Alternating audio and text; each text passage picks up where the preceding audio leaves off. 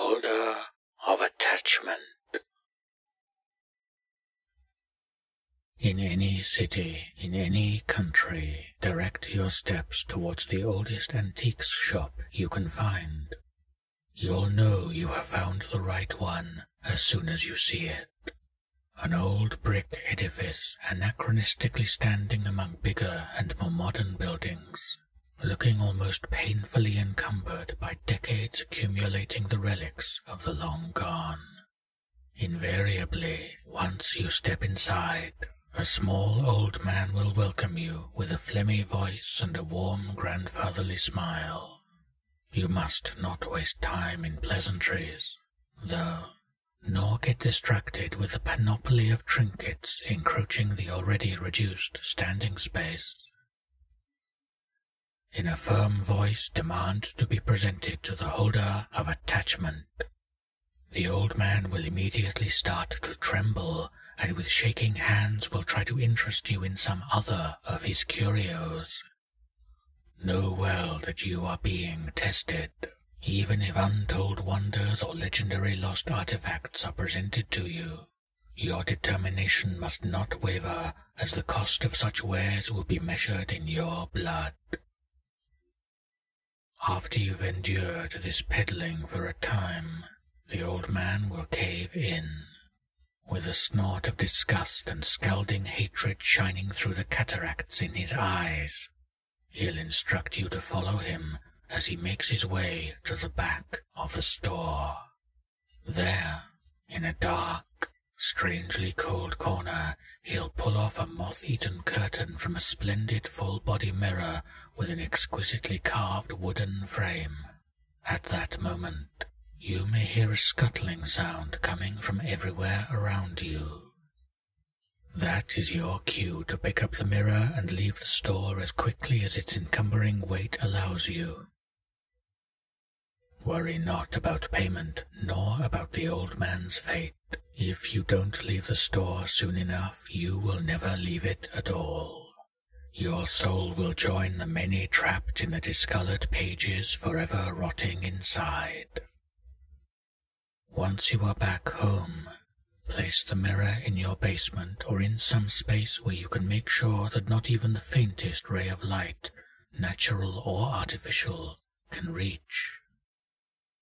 The next step must be done at the midnight of that very day.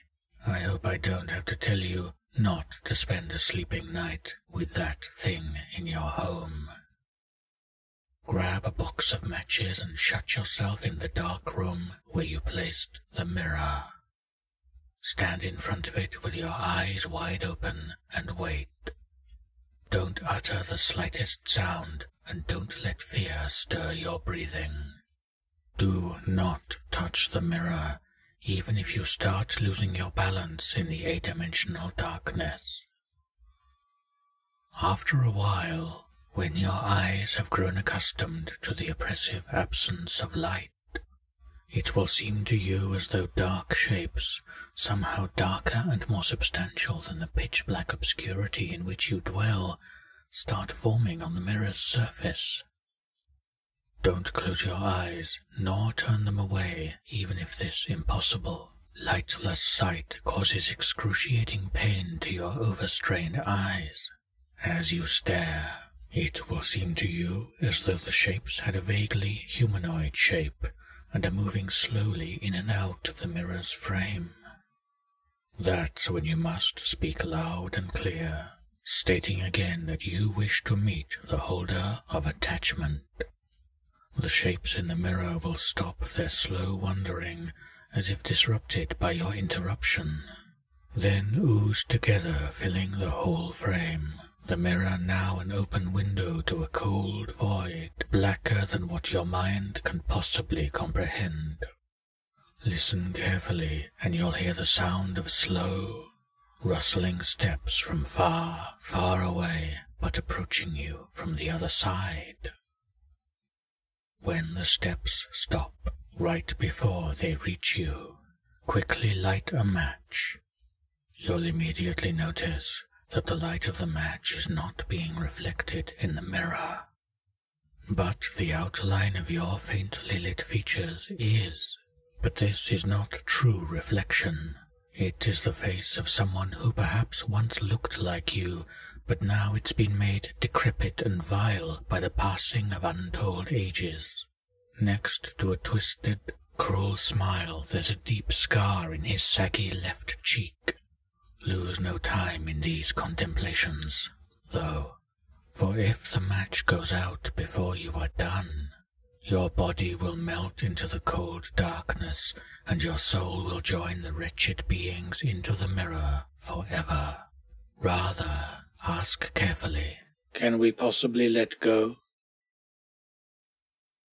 As your reflection's grin widens unnaturally, you'll feel your own mouth stretching in a mirroring fashion, and then utter with your voice, No, I will never let go. Immediately, you'll feel as though liquid, freezing darkness poured into your nose and mouth, crushing your internal organs like a living hand, causing you unimaginable agony.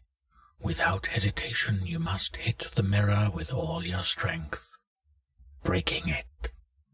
You'll manage to catch a gasp of air before you feel the fragments of the mirror cutting and slashing deep gashes into your flesh as if possessed by a murderous mind.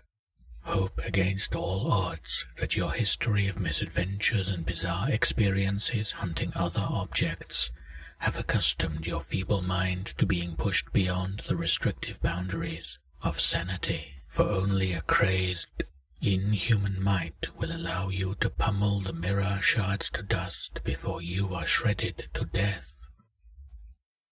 If by unlikely chance you are victorious, you'll soon pass out in a pool of your own blood.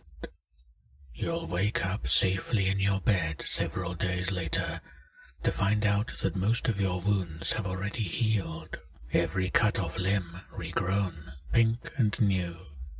In less than a week, your body will be mended completely back to normal, with the exception of a deep scar on your right cheek.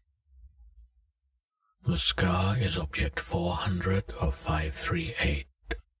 You now bear his face, and for better or worse, they'll recognize you.